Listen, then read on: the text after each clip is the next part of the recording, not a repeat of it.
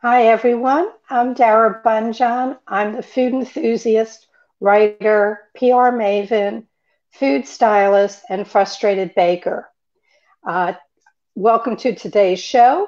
We will be talking the thrill of the grill with the five time James Beard Award winning author of over 30 cookbooks, novelist, PBS host, and writer of Barbecue USA, Primal Grill, Project Smoke, Project Fire, and the list of accolades go on and on. It would take up the whole show. So, hello, Steven. Well, we'll wait. Here he is. Here he is. Hi. Hi, Dara. How are you? I'm fine. What are you grilling and chilling in Florida?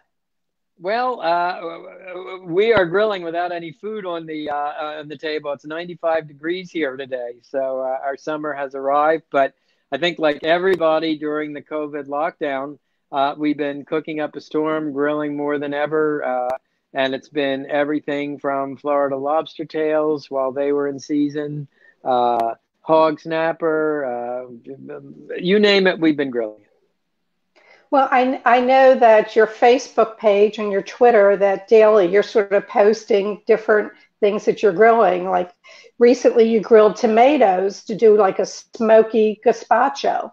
That's right. We smoked tomatoes actually, smoke roasted on the grill and made a, a smoky salsa brava, you know, that uh, the Spanish spicy Spanish tomato sauce. Well, uh, I want to tell people a little bit more about you. Um, and I want to get to the root of this. Now, you have your Bachelor of Arts in French literature. Correct. You studied you studied medieval cooking in Europe. Interesting choice. Fulbright scholarship to study comparative literature. Yep. Where did the road turn towards cookbooks and grilling and world barbecue?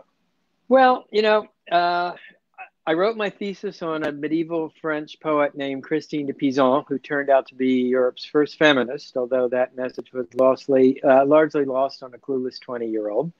But while I was researching medieval literature, I came across this medieval cookbook. And that gave me the idea to propose a, a year study uh, uh, with a Thomas J. Watson Foundation uh, fellowship uh, on medieval cooking uh, specifically and in the history on the history of cooking in general. And it brought me to France, uh, where I was kind of spend my morning uh, mornings uh, working at the Bibliothèque Nationale and other libraries, afternoons at the newly opened La Cooking School, because I wanted to kind of learn the nuts and bolts of cooking as well as just the uh, the academic side of the history of food evenings dining around as many restaurants as I could to uh, you know to, to kind of understand the French French food experience, and it really brought me to the intersection of uh, cooking, food, cooking, history, and culture, and in a way I've been doing that ever since. Now the cookbook uh, writing came from uh, from my mentor Anne Willan, the founder of the La Varenne Cooking School. And Anne said, You know, Steve, you'll never make a living writing cookbooks. So the gauntlet was thrown down. And uh, I, of course, I decided I was going to make a living writing cookbooks. Uh, it took five under my belt to uh, to learn the hard way that uh, writing is only a small part of uh, the book process, and you need to need to uh, have the right idea, be willing to get out and promote it, and uh, and so with the sixth, and that was my book Miami Spice. My cookbook career really took off, and uh, I actually started writing cookbooks that made money. Well, I tell you, you had a recipe in Miami Spice that I loved, which was a duck breast with a uh, lychee, lychee salsa. Yeah, that was lychee, so good. It's I'm glad you mentioned that. It's lychee season right now here in Miami, and the lychees have been just amazing. We bought four or five pounds over the weekend. We've just been gorging ourselves on them. So, are you using them any other way on the grill, or just eating just, them? Just fresh, just fresh, just fresh. Usually, the first couple weeks we eat them fresh, and then by the third or fourth week we start to start to cook them. Well, it, it is for the salsa a little bit labor intensive to peel and, and take the seed out. I tended to off season, just get canned lychee nuts and drain them. And yeah, I was going to say I wouldn't say that, but you know, we all do it. Right. You know, it's if it isn't in season, you try to work around that. Um, what do you find? I mean, you're you're you do a lot of public appearances and things of that nature. You have on Facebook, people can find Steven. Um, his webpage will lead you to everything, you know, cookbooks, um, streaming videos. So if you want to find anything more, it's stevenraichlen.com and it links to everything that he's doing. But you have um, a number of pages on Facebook where people can come in and communicate about barbecuing and grilling. Yeah, and that's basically meet- this this the Steven Raichlen page, and it's S T E V E N R A I C H L E N. Is there a most common question that people ask about grilling? Mm, people are pretty curious of what I'm grilling at the moment. Uh, that's a question we get asked a lot. Um, you know, the sort of nuts and bolts stuff about individual things. Brisket is always a challenge for people, so uh, you know we deal with that. But you know, on my Facebook page, um, I've really tried to make it about you, you know I'm I'm sort of live, breathe, eat, and sleep barbecuing and grilling pretty much twenty four seven, and so. Uh, I try. I've tried to make my Facebook page kind of what about about what I'm thinking of of at the moment, and uh, uh, you know, for example, uh, yesterday we did a post uh, on the uh, honoring the great Kansas City pitmaster Arthur Bryant.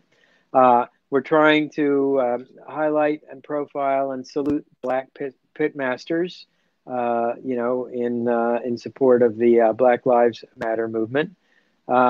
the day before that, I think we did the smoked tomato video. I, I certainly do videos of what I'm smoking and grilling uh, might be what I'm uh, something about a book I'm reading.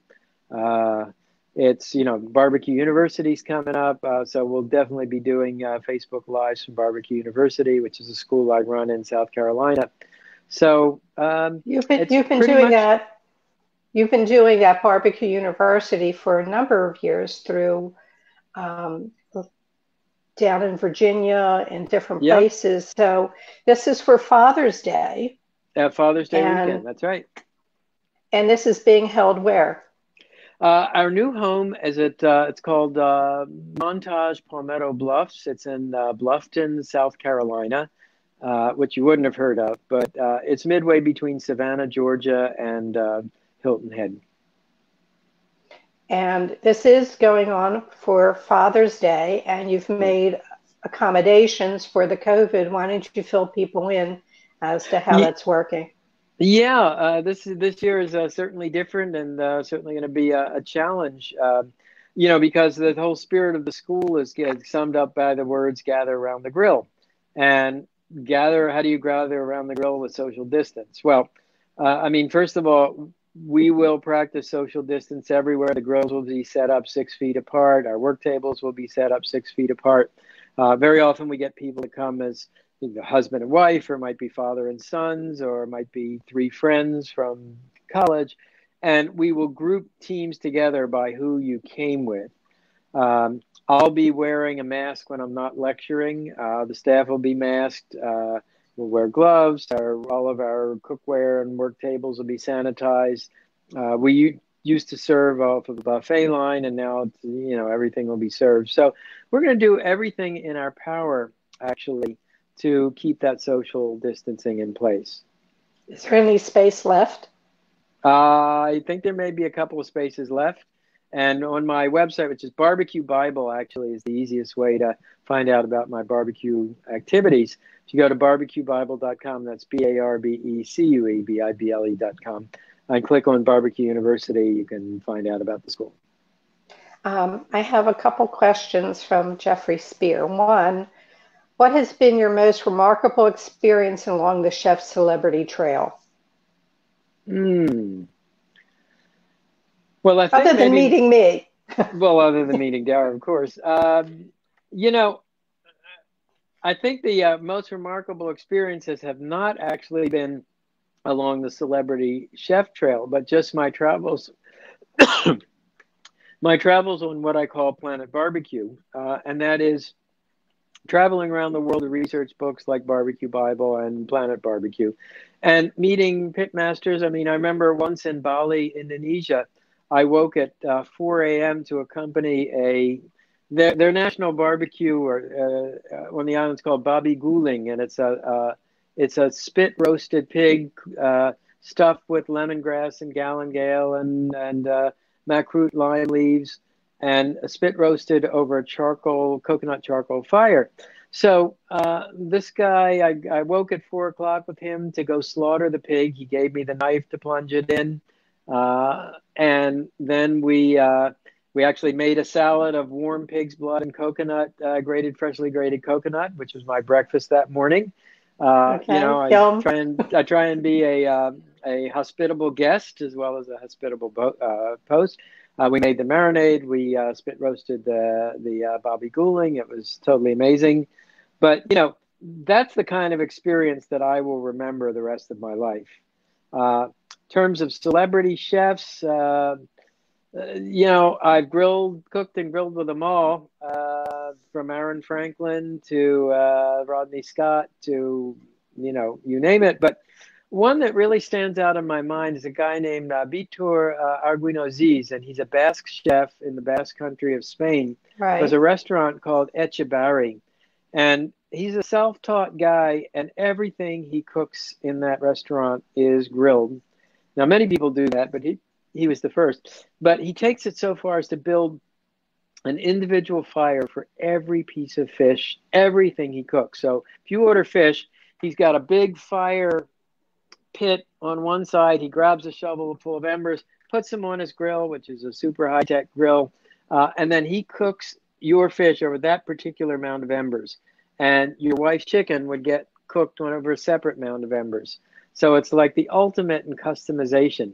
Uh, and, you know, I, I mean, he to say he pushes the envelope. We all push the envelope now, but uh, he, he, smokes the butter that goes on the grilled bread, you know. And he was uh, that was where I got the idea for my smoked ice cream. So um, uh, he was pretty pretty remarkable guy. Was that also the inspiration of putting the steak right on the embers? Well, no, that actually came from a restaurant in Providence, Rhode Island called uh, Al Forno, and they'd been they were doing that 25 years ago uh, but before that, President Dwight D. Eisenhower used to cook a steak like that at the White House when he would do cookouts at the at the White House. Uh, before that, you know, I'm very fascinated by uh, the invention of grilling by our prehistoric ancestors. One in particular called Homo erectus, and I wouldn't be surprised if we have been caveman uh, grilling steaks caveman style, you know, for at least uh, a million, a million eight hundred thousand years. You know, um, there's a quote I found of yours that I think sort of sums up your rules. You said Raichlen's rules. If it tastes good baked, fried, sauteed, or boiled, it tastes even better grilled. Barbecue has no limits, but it does have conventions. Wow. Well, that was very articulate. I must well, have. Uh, I, I, I stumble. Uh, I stumble on uh, good phrases every once in a while. Right. Um, some of the things that you have uh, done, um, you have coming up a new book on grilling vegetables, spring of 2021. Mm-hmm.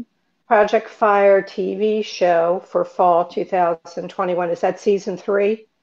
It's season three, and actually, we will be taping it uh, this fall, and it will air in uh, spring of uh, 2021. That's right. Where are you taping yeah, that it? Was, well, that's a that's a good question, and one of the uh, locations we're considering is Baltimore. I know yeah, food stylist. yeah, that'd be kind of cool. Well, uh, uh, well, you did one of the uh, you did one of my prime primal grill uh, TV shows. I was sure after that experience you vowed no TV ever again. it's uh, it's very you know people don't realize how much work goes into a half an hour TV show, but it's typically anywhere from you know four to five hours of me on set.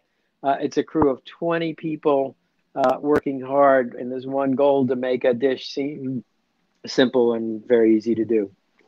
Yeah, well, I, I, think I was thrown to the lions because yeah. you your your personal assistant got sick at the very last minute.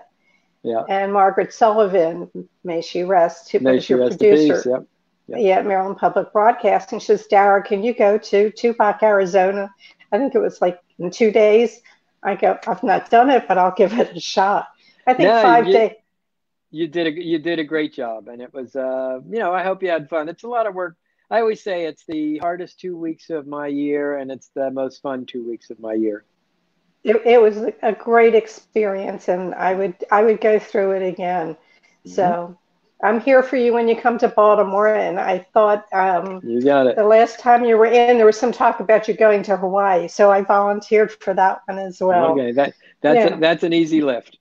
Yeah, yeah. Let's talk about Baltimore and your background. Okay, I'm um, trying to remember. It was Milford Mill High School.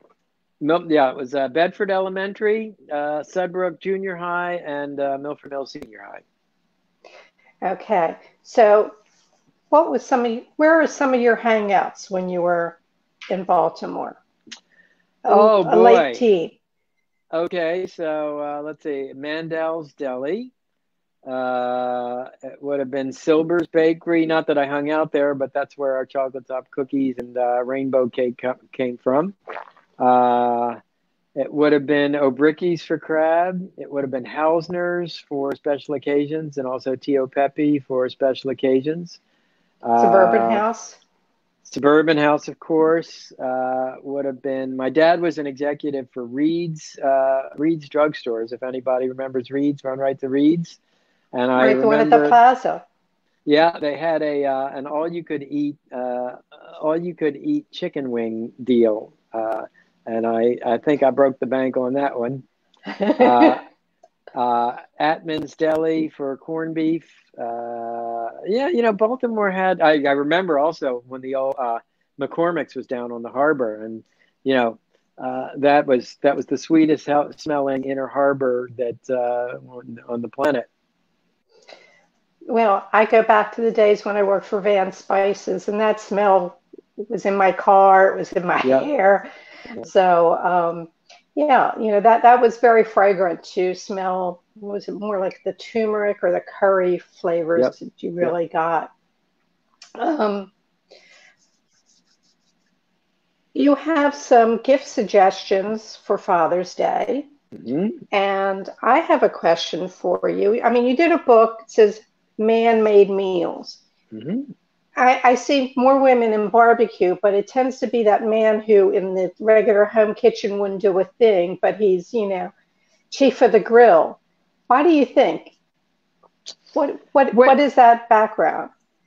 Well, uh, like my wife says, that's because most women are way too smart to stand downwind of a hot, smoky grill, you know, being buzzed by insects. The weather is 100 degrees out, humidity 90%. Uh, and, uh, you know, you're burning your food anyway because you've had too much to drink. So women are just way too uh, smart for all that. But seriously, um, you know, uh, for, for, I mean, first of all, I think it's very important to say that that's in our culture uh, in North America. But elsewhere in the world, uh, the, the great grill masters are actually grill mistresses. And if you think about Thailand, Vietnam, Laos, Cambodia, uh, Bosnia, uh, uh, Serbia, and even in Mexico, you know, a lot of the great grill mistresses are women, not men. So uh, it's a little bit of a stereotype. Um, why it happens, you know, God likes to set stuff on fire. What can I say? um, you know, uh, some of the grill items I saw that you were suggesting for Father's Day, and let me tell people there are a gazillion grilling books, um, beer can chicken book, sauce books, anything you want to know how to cook it, there is a book for it on the StevenRaichlen.com site, but he has suggested 10 or 12 items for you for Father's Day. And one of the things I saw on there that I liked and I used before I sold my grill because I wasn't going to move um, was the rack that you have to hold the ribs vertical. That's vertical, right. We call horizontal. We, That's right. We call that no vertical. Actually, you hold them upright. Uh, we call that the rib condominium. And the uh, idea of that is, you know, uh, a Weber kettle grill, which is sort of the go-to grill for so many people, will comfortably hold two racks of spare ribs or baby back ribs. You might be able to get squeezed three baby backs on. Uh, but um, in order to cook four, you know, if you want to serve four to eight people, you got to cook four racks. You stand the ribs on their side, and this rack holds them upright. So, and, and a lot of the tools, you know, on my the, that I've created in the uh, Best of Barbecue line, I like the Best of Barbecue rib rack. Uh, or the uh, grill brush or the Lumatongs, which are grill tongs that have a little flashlight built into one arm so you can see what you're doing at night. It's all stuff that I designed. Basically, when I was grilling, I thought, you know, I could really use an X. I really want a set of tongs with a light so I can see what I'm grilling. I really want a rib rack so I can get, you know, I can get four racks of ribs on uh, on uh, a kettle grill. So a lot of the stuff I just kind of invented because it didn't exist before. Well, I you have the first the recipe that I always went to on the ribs was the first timers ribs. Mm-hmm. I'm stuck on that. They're so it's, good. It's pretty good. And and yet you probably have 15 or 20 recipes for ribs. Oh, I wrote a whole book on ribs called Best Ribs Ever, which I think uh, that that book has at least 50 or 75 recipes just in that book alone.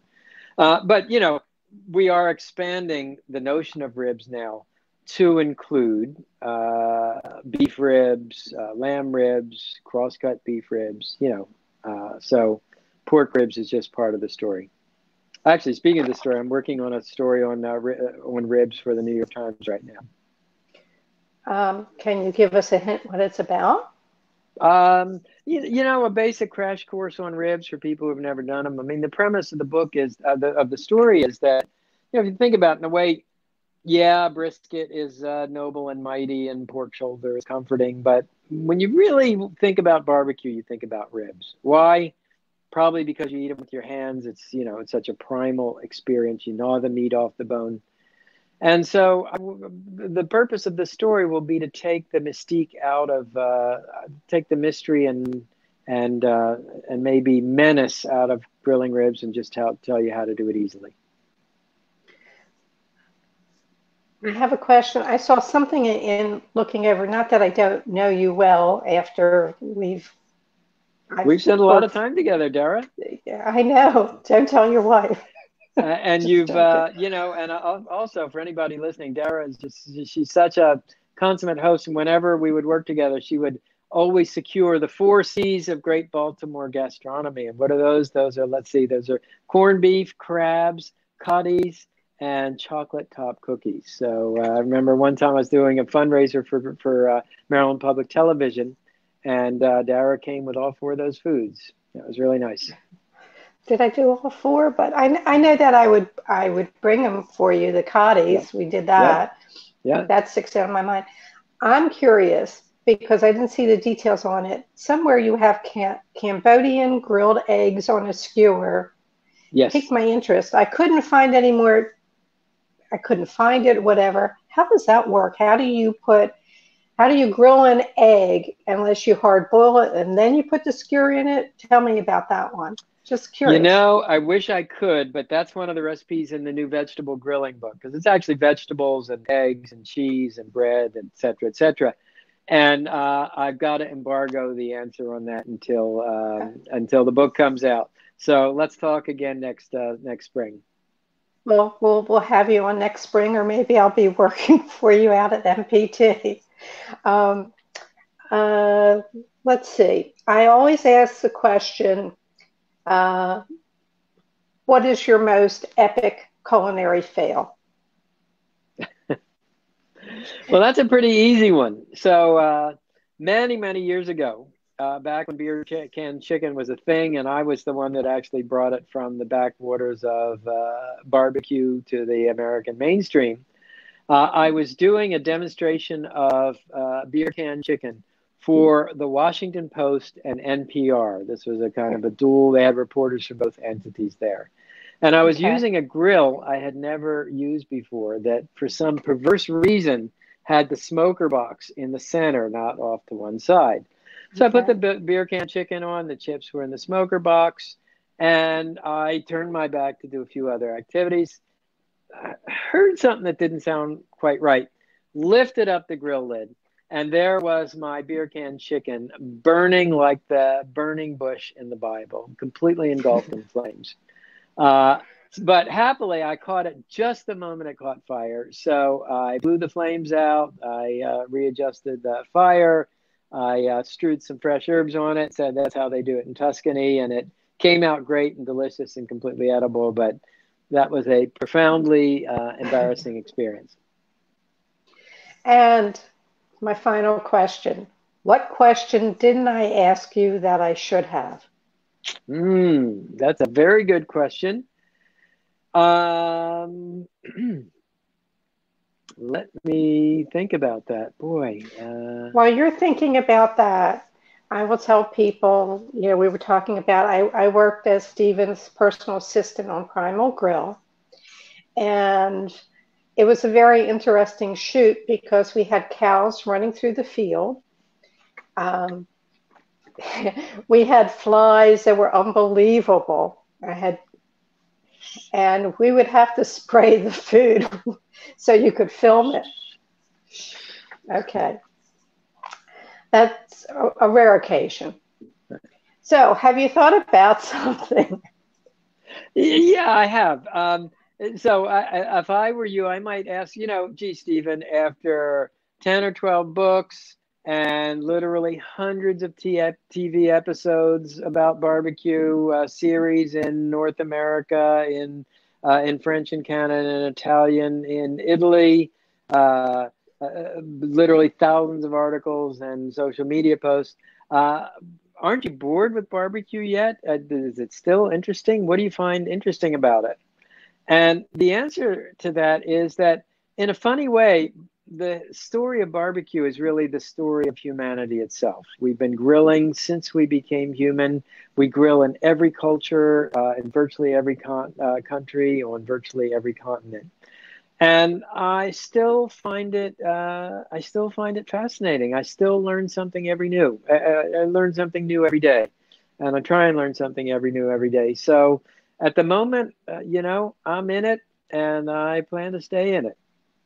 Well, you're in it to win it. I, I'm going to just go back to International Association of Culinary Professionals had their conference in Baltimore.